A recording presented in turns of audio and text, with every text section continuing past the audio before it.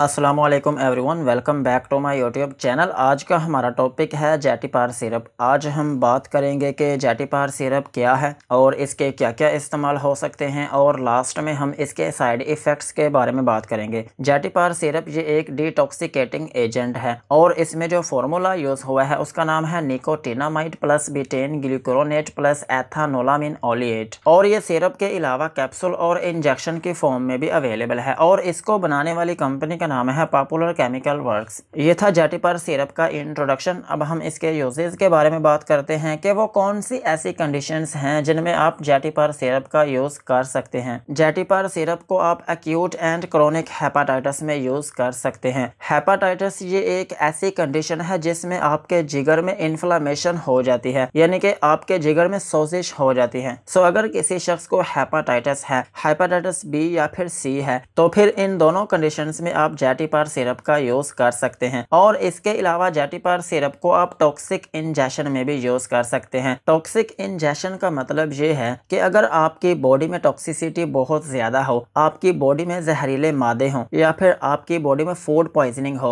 तो फिर इसकी वजह से क्या होता है कि आपकी बॉडी के अंदर जो खाना होता है, वो ठीक से हजम नहीं हो पाता। सो इस कंडीशन में भी आप जेटीपार सिरप का यूज़ कर सकते हैं। और इसके अलावा जेटीपार सिरप को आप फैटी लिवर डिज़ीज़ में भी यूज़ कर सकते हैं। फैटी लिवर डिज़ीज़ का मतलब ये है कि अगर आपके जिगर में चर्बी है या फिर आपके जिगर के ऊपर फैट्स है तो फिर भी आप जेटीपार सिरप का यूज़ कर सकते हैं। और सेम इसी तरह जेटीपार सिरप को आप कोलिसिस्टाइटिस में भी यूज़ कर सकते हैं। कोलिसिस्टाइटिस का मतलब ये है कि अगर आपके पित्ते में सोजिश है या फिर आपके पित्ते में इन्फ्लामेशन है या फिर आपके पित्ते में चर्बी है तो फिर भी आप जेटीपार सिरप का यूज़ कर सकते हैं। और इसके अलावा जेटीपार सिरप को आप टॉक्सिक मेटाबॉलिक हिपैटोपैथी में भी यूज़ कर सकते हैं। ये एक ऐसी कंडीशन है जिसमें आपके जिगर के ऊपर इन्फ्लामेशन आना शुरू हो जाती है। यानी कि आपके जिगर के ऊपर स्वेलिंग आना शुरू हो जाती है। और ये तब होता है जब आप अल्कोहल का यूज़ करते हो, या फिर आप ड्रग्स का यूज़ करते हो, आप कोई नशा वगैरह करते हो, या फिर कोई ऐसी मेडिसिन का यूज़ करते हो, जो आपके जिगर के लिए नुकसान नुकसानदेह हो। सो ये जो सारी चीज़ें हैं,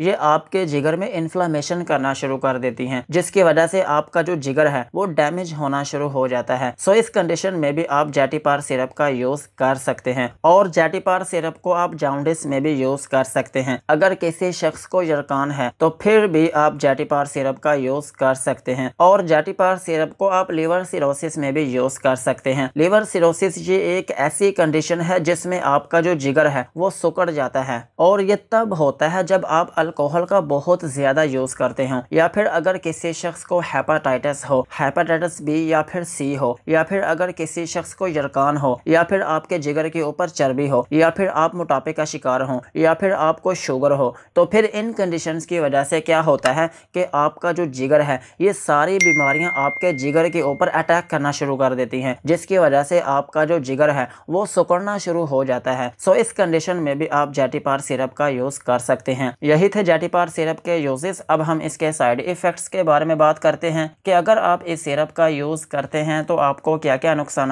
हो सकते हैं? जेटिपार सिरप को यूज़ करने से आपको हाइपर सेंसिटिविटी रिएक्शन हो सकता है, यानी कि आपके स्किन के ऊपर एलर्जी या फिर रशेस बनना शुरू हो सकते हैं, और इसके अलावा आपको नोजिया या फिर वोमिटिंग हो सकती है, यानी कि उल्टी या फिर मतली आना शुरू हो सकती है। और अगर आप इसकी ओवरडोज लेते हैं तो फिर आपको डायरिया भी हो सकता है, और इसके अलावा आपको डेजीनेस हो सकती है, यानी कि आपको थोड़ी बहुत नींद आ सकती है, और इसके अलावा आपका ब्लड शुगर का जो लेवल है, वो भी पहले से ज़्यादा हो सकता है। और अगर आप इसका मिस यूज़ करते हैं तो फिर आपकी नज़र ख़राब हो सकती है। आपकी जो विजन है, वो भी डिस्टर्ब हो सकती है। सो यही थे जाटीपार सिरप के यूजेस एंड साइड इफ़ेक्ट्स। अब हम इसकी डोज के बारे में बात करते हैं कि कितनी एज में कितना सिरप लिया जा सकता है। अगर आपकी एज 18 साल से ज़्यादा है तो फिर आप इसका एक चम्मच सुबह और एक चम्मच शाम, दिन में दो मरतबा यूज़ कर सकते हैं। और अगर आप एक चाइल्ड हैं और आपकी एज छः से बारह साल के दरमियान में है तो फिर आप इसका एक टी स्पून दिन में दो मरतबा यूज़ कर सकते हैं। और सेम इसी तरह,